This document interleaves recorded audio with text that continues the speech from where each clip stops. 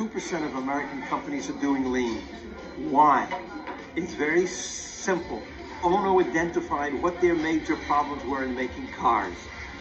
He, they had no cash at Toyota. They couldn't even get a loan from the bank. He looked at the inventory. He says, "That's where our cash is." So he focused on eliminating the inventory, and he came up with seven ways, which is wonderful. Now everybody in the world is doing lean, but why aren't they getting lean? Because they haven't redefined what their problems are, and they haven't come up with the way specifically for their problem.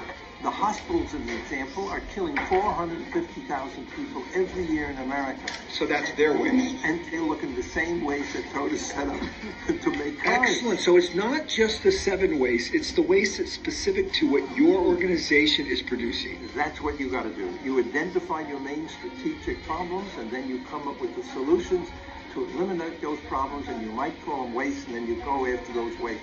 What are we doing to kill So people? here's the bottom line your waste is not Toyota's waste. Yes, absolutely.